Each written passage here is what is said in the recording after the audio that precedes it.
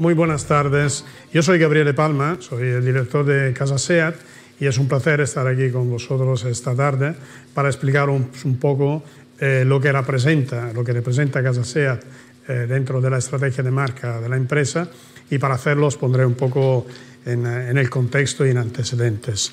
Eh, y vamos un poco a través de algunos hitos importantes de la historia. Creo que todo el mundo sepa que SEAT ha sido una, digamos un, un, protagonista de la, de la movilidad eh, histórica en, en, el mercado español y de hecho nosotros decimos que de alguna forma fue la marca que puso eh, España eh, sobre ruedas. La época de SEAT ha vivido durante, durante eh, los 70 años de historia, SEAT ha vivido épocas eh, bastante diferentes entre ellas. Ahí hemos marcado algunos eh, elementos históricos. Nació en el 1950 con un partner industrial que era Fiat y con la presencia del Estado español. Luego eh, el partner industrial salió y entró como único accionista en 1986 el grupo Volkswagen. Las primeras operaciones se hicieron en, en la ciudad de Barcelona, en la zona franca, y luego en el 1993 se ha creado una fábrica mucho más moderna, que es la donde eh, todavía eh, seguimos con el foco principal de las operaciones, que es en Martorell. En Martorell tenemos una, una, estructura muy grande, es un polígono industrial que tiene una dimensión aproximadamente de 3 kilómetros cuadrados y donde trabajan aproximadamente 15.000 personas, digamos, de empleados directos.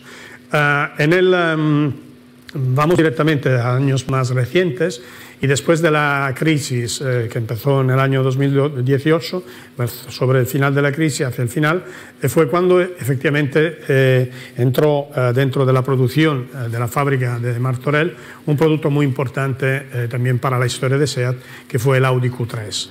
Eso ha significado una evolución importante desde el punto de vista técnico, cualitativo, y ha permitido entrar en una dinámica y un nivel eh, bastante superior comparado a lo que se hacía antes. No todo el mundo lo sabe, pero el Audi Q3 es um, un producto que se, hizo, que se ha hecho durante su vida en Martorell y que desde Martorell se ha exportado en todo el mundo.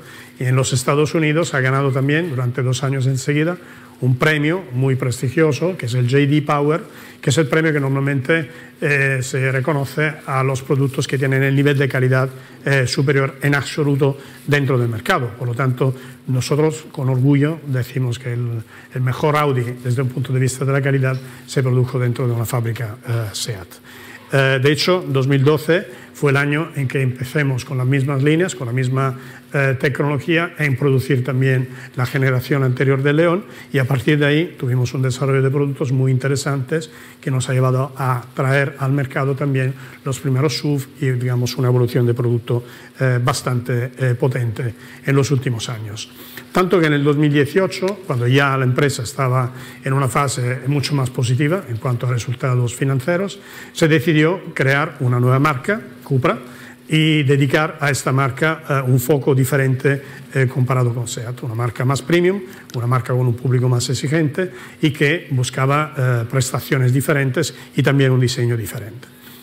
Y en este año, el 2020, que es un año evidentemente denso de muchos cambios, muchas novedades eh, y muchas cosas inesperadas, pero fue el año, ha sido el año en que eh, han pasado también muchas novedades para nosotros, entre ellas el lanzamiento de una otra marca, de otra marca que es Seatmo, que es la marca que dedicamos a la movilidad urbana, es decir, la micromovilidad, la última milla, y es eh, una marca que utilizamos para eh, proponer al mercado patinetes eléctricos, motos eléctricas y desde hace pocos meses un servicio de motor sharing dentro de la ciudad de Barcelona.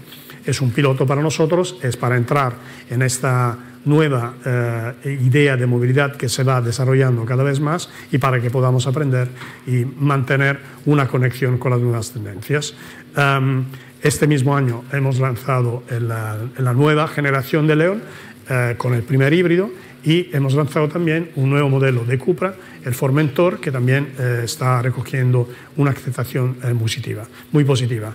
Y con Seat Mo también acabamos de presentar la primera moto eléctrica de Seat. Así que en este contexto nace Casa SEAT. Antes de ir en un poco más en detalle sobre Casa SEAT, es importante eh, entender o compartir que SEAT hoy representa la única empresa de nuestro sector que tiene toda la cadena del valor en España.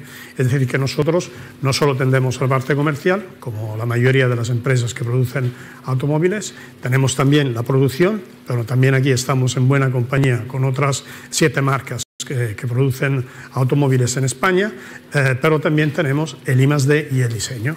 Esto hace una diferencia importante porque significa que nuestros productos están diseñados y están desarrollados en España utilizando diseñadores y también partners que son también españoles. Por lo tanto, esto tiene un impacto muy importante eh, con la economía del territorio y tiene también, digamos, la capacidad de producir un conocimiento, si queréis, talentos, que de alguna forma se quedan con nosotros o que de alguna forma luego se pueden compartir eh, dentro del mundo de la automoción a empezar por las marcas eh, dentro del grupo Volkswagen. ¿vale? Y mm, a partir de ahí, em, nosotros somos conscientes que en los, próximos años em, la situación de o el mercado de la automoción cambiará muchísimo. Os comparto, digamos, algunas, algunos elementos que son las grandes macro tendencias que se están desarrollando eh, y que pensamos que van a afectar muchísimo nuestro, eh, nuestro sector. Hablamos del calentamiento global, hablamos de la urbanización, sabéis que cada vez más gente eh, vive en grandes ciudades, la digitalización, que es un factor que tiene muchas implicaciones también a nivel industrial, evidentemente, ¿no? la industria 4.0 cero y sobre todo un cambio en, la manera de vivir, el hecho de que cada vez eh, más las personas se hacen mayor, eh, tienen una vida más larga y también los hábitos de consumo están cambiando. No sé si lo sabéis, pero hoy eh, en un mercado como, como digamos la región europea, la edad media del cliente que compra un coche nuevo está por encima de los 50 años, 53 años para, para la precisión. ¿vale? Estos elementos, esta tendencia, tienen implicaciones o tienen factores que de alguna forma afectan también a nuestro sector y son varios. Entre ellos aquí estoy eh, marcando, obviamente, la parte de normativas sobre las emisiones.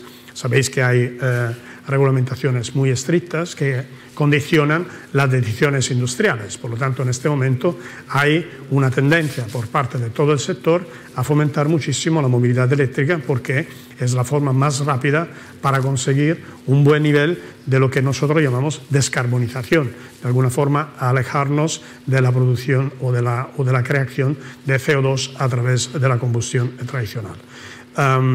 También la parte tecnológica, la parte digital ayuda mucho. Cada vez más se está trabajando con ayuntamientos, con organizaciones para conocer o para aplicar tecnologías comunes, sobre todo de cara, digamos, a la, a la gestión de, informaciones que son relevantes para, para, la movilidad. No hablo solo de coches, evidentemente. Y también hay una, una, una tendencia a dotar los vehículos no solo el coche, sino también todos los vehículos de movilidad, de una, capa eh, de digitalización que permite también eh, interaccionar con eh, las estructuras, las infraestructuras y, tener digamos, una base de datos que pueda funcionar por ambas partes. Y a partir de ahí se desarrollan algunas fases en lo que será el cambio hacia la movilidad del futuro, donde se identifican tradicionalmente cuatro elementos. Se empieza con el coche eléctrico, se añade, digamos, la parte del coche compartido, que es el sharing eh, que nosotros mismos estamos experimentando en este momento con las motos, el coche conectado, que está muy vinculado con el tema del sharing y que permite también la interacción con las infraestructuras, y la parte final es el coche autónomo, en el que están trabajando muchísimas empresas eh, y entre ellas también el grupo Volkswagen, eh, donde nosotros, de, que nosotros somos parte. Esto es un chart que necesitaría un poco más de explicación, Simplemente era para daros una pincelada y explicar el contexto en el que nos estamos moviendo en esta fase. Aquí también eh, remarco un poco eh, las tres líneas de producción, las tres marcas con que trabaja SEAT. La primera es la misma SEAT, donde tenemos una oferta y el mercado en verde los coches más sostenibles, los productos más sostenibles que estamos eh, ya ofreciendo o que estaremos a punto de ofrecer en breve en el mercado. Lo mismo vale para la marca Cupra, como he dicho antes, recién lanzada, el Formentor, que también estará disponible en las fórmulas híbridas y a partir de ahí también otros vehículos eléctricos. Y finalmente la parte de movilidad urbana, el coche, la, la moto eléctrica, eh, que producimos con un partner industrial que es Silence, así como los patinetes que hemos introducido a lo largo de los últimos años. Y a partir de ahí, eh, eh, digamos, los resultados comerciales que en este momento nosotros estamos, o por lo menos lo que SEAT la presenta a nivel mundial y a nivel de España, lo podemos de alguna forma identificar a través de algunos grandes números. esto, el medio millón de vehículos, es la dimensión eh, de, la, presencia internacional de SEAT a nivel de ventas, coinciden más o menos con la capacidad de producción, aunque en nuestra fábrica se produce también eh, coches de otras marcas y una parte de los coches que vendemos están producidos en otras fábricas. Eh, pero digamos, más o menos el volumen es, muy similar. estamos en casi 80 mercados. En el mercado español, con 108 vehículos el año pasado, estuvimos como líderes. por el segundo año, por el segundo año eh, enseguida. Y hoy somos, eh, en, un mercado como, España, el primer eh, empleador industrial. Entre directos y indirectos contamos con aproximadamente 100.000 personas que trabajan para SEAT, el primer exportador industrial y representamos el 1% del PIB en España. Y a partir de ahí nace, digamos, la, la voluntad, la estrategia de entrar en otra mentalidad, enfocarnos en un proyecto que es un proyecto, por un lado, de marca, que pero también es un proyecto que mira a la parte empresarial. Es decir, que de alguna forma nosotros nos hemos dado cuenta en los últimos años que para seguir adelante y poder eh, gestionar retos como los que están por venir, necesitábamos también activar un segundo nivel. Un nivel donde es muy importante entrar en, eh, en, contacto con el territorio y tener un intercambio con el territorio mucho más fuerte de lo que tuvimos hasta ahora. Es decir, nos hemos dado cuenta que para ir adelante y, ser identificados como una marca eh, importante, una empresa grande, teníamos también que asegurar un, beneficio y compartir los resultados eh, también con, un ecosistema más grande. Y por lo tanto, creamos el proyecto de Casa SEAT. Casa SEAT lo definimos eh, como el lugar donde la ciudad se mueve, es decir, un espacio que se encuentra además en un cruce muy emblemático entre Paseo de Gracia y Diagonal y que es un sitio donde nosotros pensamos que es donde podemos observar, por un lado, las tendencias en nuestro sector, pero también todo el mundo de las actividades culturales en una ciudad como Barcelona.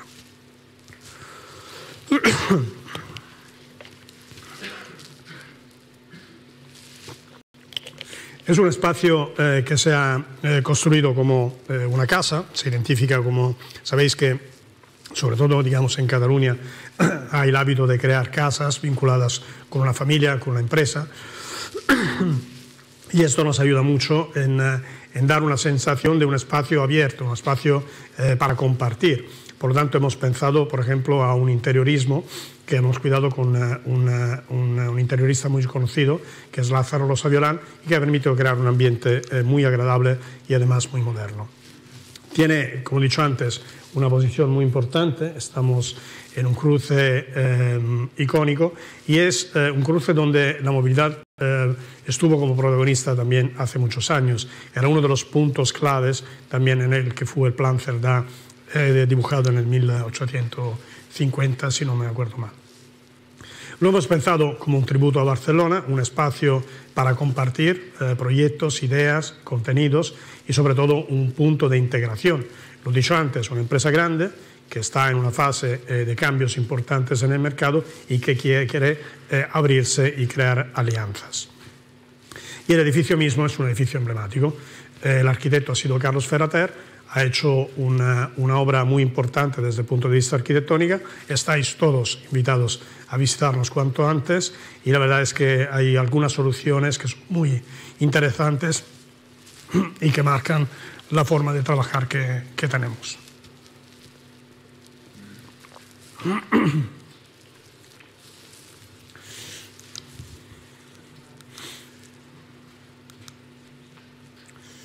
Vamos adelante. Eh, una cosa que marca la diferencia entre Casa Seat y otros espacios de marca Yo creo que es em, la distribución, digamos, del edificio.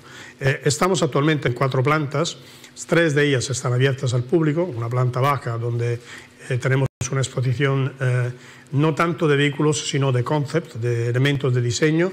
Tenemos un espacio gastronómico y tenemos una parte dedicada a la parte de micromovilidad, que es las motos eléctricas y, digamos, las nuevas tendencias. luego tenemos una planta menos uno que es donde tenemos un auditorio, donde eh, compartimos la mayoría de los contenidos, y una planta 1, que es una planta donde tenemos el showroom, es decir, donde se pueden ver eh, las varias eh, ofertas de productos, por lo menos las más interesantes para las tres marcas. Pero hay una planta, la segunda, que, está, que no está abierta al público normalmente, que es la planta que podéis ver aquí en pantalla, también diseñada por, por Lázaro Rosa y que creo que marca la diferencia porque es una planta corporativa.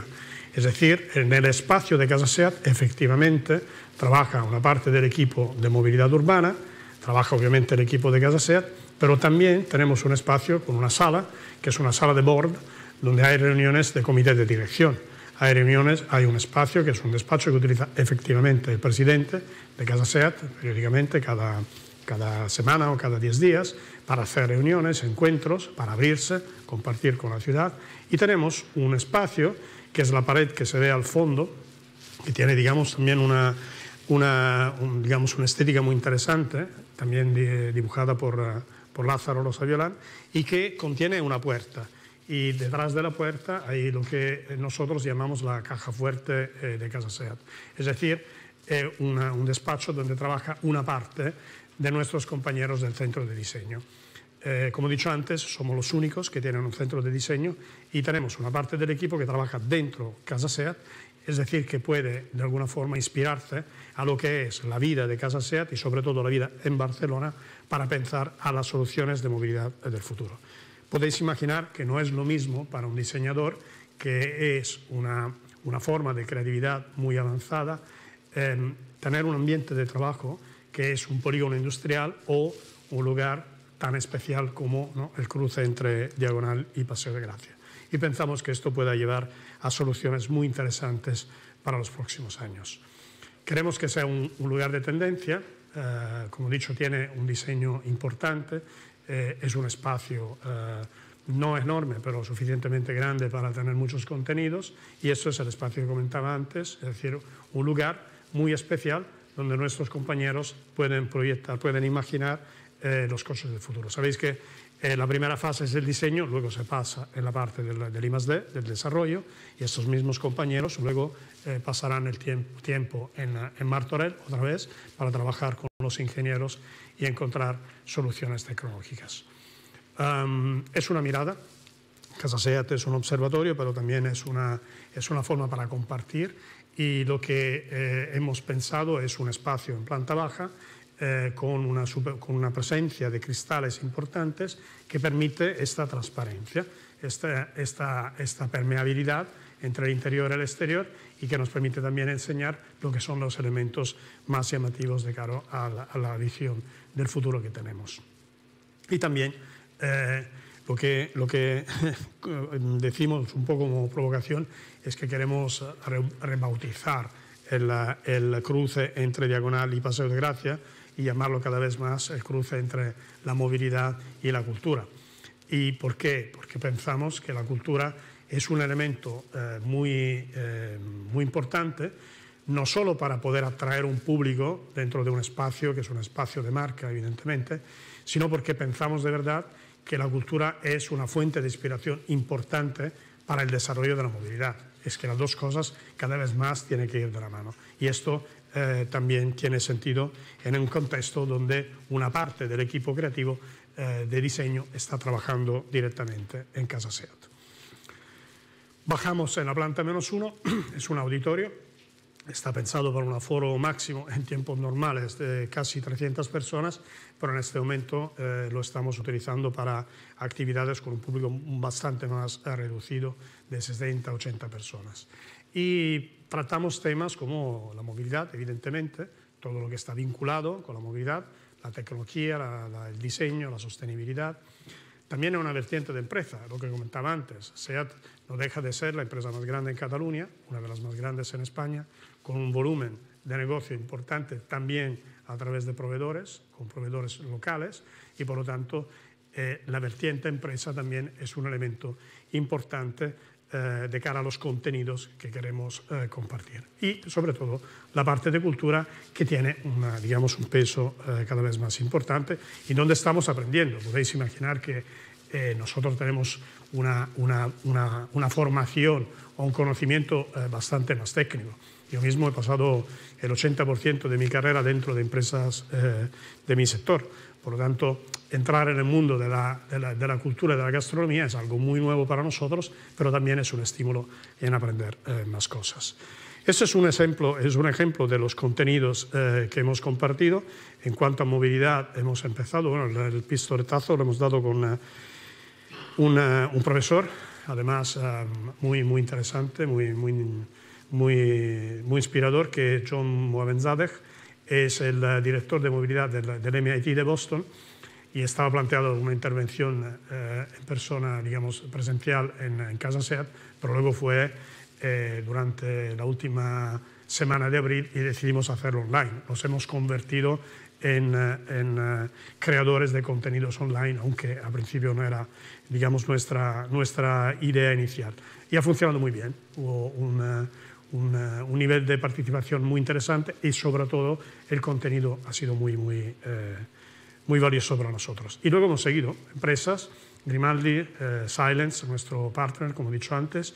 Hemos eh, involucrado también periodistas importantes, José Luis Merlo, un amigo que tiene también mucha, mucha historia en nuestro sector, eh, Raúl Blanco, secretario de la Industria, Rosa Alarcón, del Ayuntamiento de Barcelona, que eh, ya ha definido Casa Ser como su segunda casa, entre comillas, eh, se ocupa de movilidad, por lo tanto ha pasado ya eh, en varias ocasiones dentro de nuestras instalaciones y, y, más cosas. En el mundo de la empresa tenemos una muy buena relación con la, revista Emprendedores, con Alejandro Vesga, y hemos hecho hace un mes y medio aproximadamente un evento que es el BNU, eh, la primera edición del evento del BNU, que es uh, dedicado a la New Economy en Barcelona, una semana para la New Economy en Barcelona, que tuvo tres eh, lugares escogidos en, eh, en, eh, en, Barcelona, que eran la estación de Francia, eran el espacio Movistar en Plaza Cataluña y Casa SEAT, donde se ha desarrollado la parte de contenidos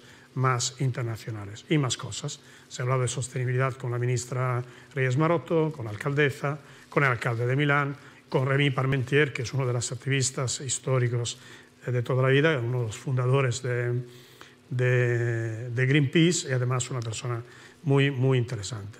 Hemos hablado de arquitectura, Carlos y, y Lázaro son los dos grandes nombres que están detrás del proyecto de Casa Sea y hemos hablado de, de cultura a través de, la, de, la, de, un, un, grande, de, bueno, un buenísimo eh, artista eh, de calle, eh, TV Boy, y de otras iniciativas también que tuvimos a nivel digital.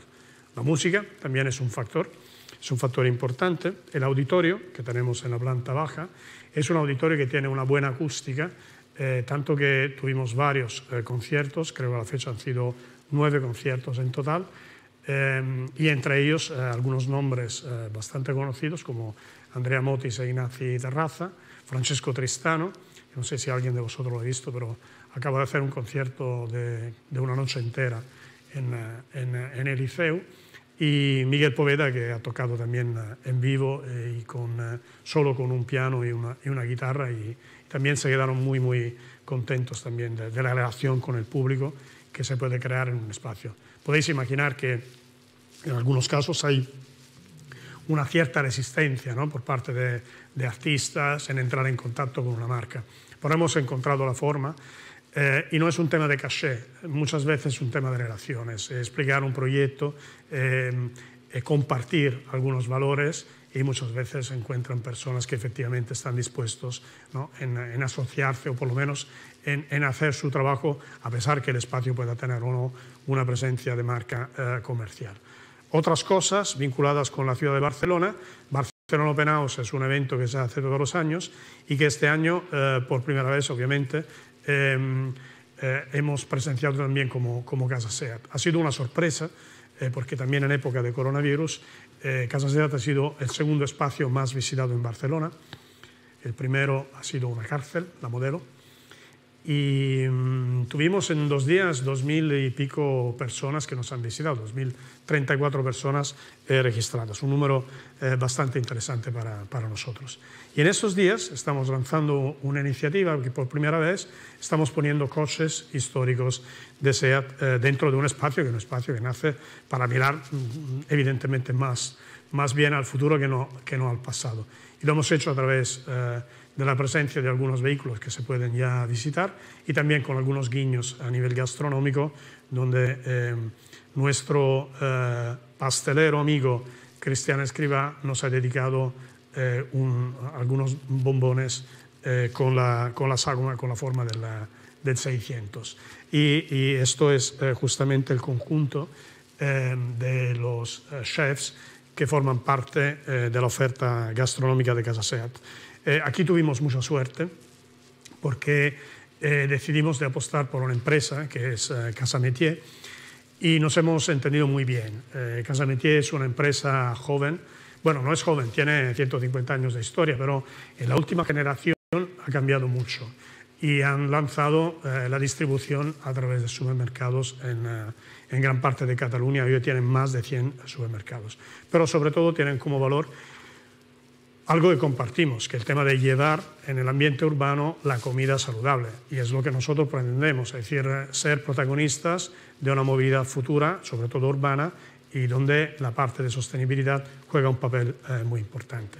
Y gracias a ellos hemos eh, mm, beneficiado de una alianza que han creado con algunos de los mejores cocineros eh, que trabajan en Barcelona. Estamos hablando de eh, Nando Juwain, Hideki Matsuisa, que son eh, estrellas Michelin. Estamos hablando de Jordi Morera, que eh, está considerado como uno de los mejores panaderos al mundo, ha ganado un premio en Nueva York en ese sentido. José María Cao del Shanghai y más, y más, y Cristiano Escribá, como he dicho antes. Y lo que pasa es que, con grande sorpresa, hace tres días nos han informado que hemos entrado dentro del ranking eh, de los primeros 100 eh, restaurantes en Barcelona. No era algo que estábamos buscando, no lo imaginábamos, pero la verdad es que la oferta de nombres de este nivel es tan interesante que al final, de forma casi natural, nos han incluido en el conjunto de los restaurantes más interesantes de la ciudad. Y bueno, ya que estamos en un contexto de marketing, hablamos un poco de números también. ¿no? Estos son los primeros números. Eh, tuvimos casi 40.000 personas que nos han visitado durante los primeros seis meses. Las visitas web son un número razonablemente bueno, estamos por encima de las 100.000. no hemos hecho tampoco mucha publicidad para, para lanzar Casa SEAT. Tenemos una inversión más o menos always on, pero sin demasiadas inversiones. registros van creciendo es un número que ya nos permite contar con una base de datos. Lo que pasa es que podéis imaginar que cuando se propone un concierto gratuito, aunque tengas una base de datos de 5.000 personas o 10.000 personas, en 5 minutos se agotan las entradas. Por lo tanto, tenemos que aprender también en cómo utilizar los contenidos para que efectivamente sean al alcance de, más personas y tengan más, vida. Y un buen retorno a nivel de PR. Sabéis cómo se calcula el retorno eh, en PR, estos son los datos de, de Cantar y estamos ya por encima de los 8 millones de euros después de seis meses, por lo tanto tenemos mucha ilusión. Y como he dicho antes, también dentro de los espacios de marca, Casa Seat se posiciona bien. En este momento, en cuanto a conocimiento, awareness y familiaridad, estamos ya en tercera posición, con lo cual eh, podemos eh, considerarnos bastante satisfechos. Eh, impacto de la marca muy bueno, eso era un poco el titular de la ponencia. Eh, al final, eh, ¿por qué hacemos todo esto? Por muchas razones. Enlazar relaciones, para, para, abrirnos, para aprender, para compartir lo que hacemos, pero al final, al final, esto tiene que tener un valor para la marca. Y el 90% de las personas que visitan el espacio efectivamente se quedan con una imagen de marca eh, superior, bastante mejor de la que tenían antes de entrar. por lo tanto, podemos decir que esto está añadiendo un valor importante. También a nivel de valoraciones en Google estamos muy bien. Tenemos un 4,6, que es un dato muy alto, todavía son relativamente pocas, eh, pero pensamos, esperamos que podamos seguir en futuro con, con este porcentaje eh, tan bueno. Y mm, esto es mi, último, mi última diapo y cierro con un pequeño vídeo y luego eh, nos despedimos un segundo.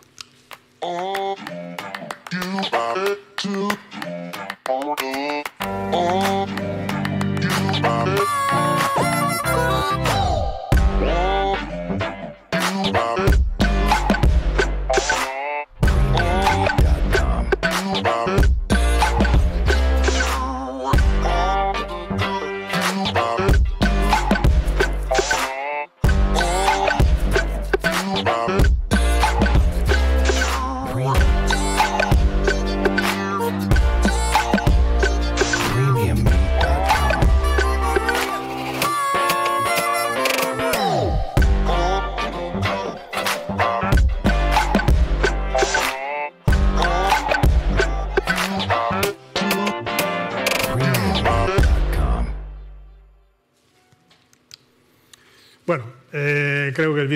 poco también a entrar, eh, por lo menos virtualmente, dentro del espacio. Lo dicho antes, estáis todos, todas invitados en, eh, en visitarnos presencialmente, será un placer. avisadme. mi correo, si queréis, gabriele.palma.es, muy fácil. Y estáis invitados también a escribirme si tenéis, no sé si tenemos tiempo para un par de preguntas o no, si estamos organizados y si no, nos saludamos y de verdad eh, espero veros pronto. Muchísimas gracias por la atención, espero que haya sido mínimamente interesante y hasta muy pronto. Gracias.